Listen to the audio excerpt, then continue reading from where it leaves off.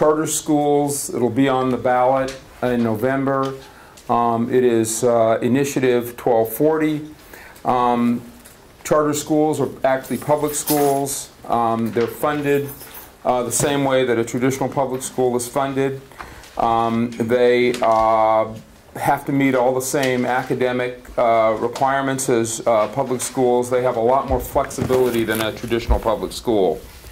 Um, there are about 14,000 kids who drop out of uh, school in Washington State every year. 14,000, that's a huge number. Um, in this state, um, there are fewer kids percentage-wise going to college than there were five years ago or 10 years ago, interestingly enough.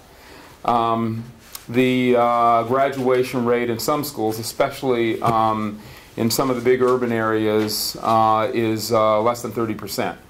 The graduation rate.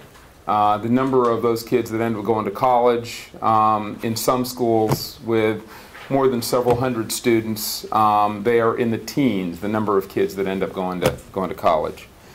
Um, the uh, initiative is geared to uh, struggling students. Um, most of those students are minority kids or poor kids. They are the ones that struggle the most in the, in the school system, the traditional school system. Um, it is important to note that 41 states in um, the country have this law. There are 500 charter schools being created um, every year in those other states. Washington State does not have the charter school provision. They've been in existence for 20 years. What this initiative does is it takes the 12 top laws around the country and essentially puts those provisions into um, the initiative.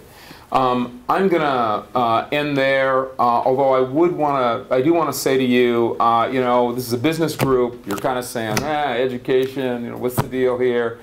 Well, many, many, most actually, uh, chambers around the state have endorsed this initiative. The Association of Washington Business and many, many other business organizations have strongly endorsed this initiative.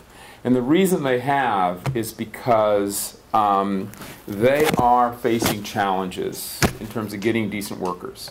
And any of you guys that have hired folks and you want them to, you know, I don't know, measure the length of a pipe or whatever, um, you will find that a lot of those kids and adults don't even have the skills to do the basic stuff.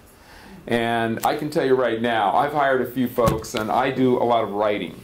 And it is very, very tough to find a good writer. Very, very tough.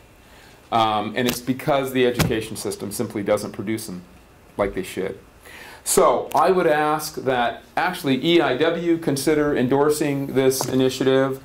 Um, I will be at the back of the room and anyone that wants to individually endorse this initiative, I am happy to sign you up.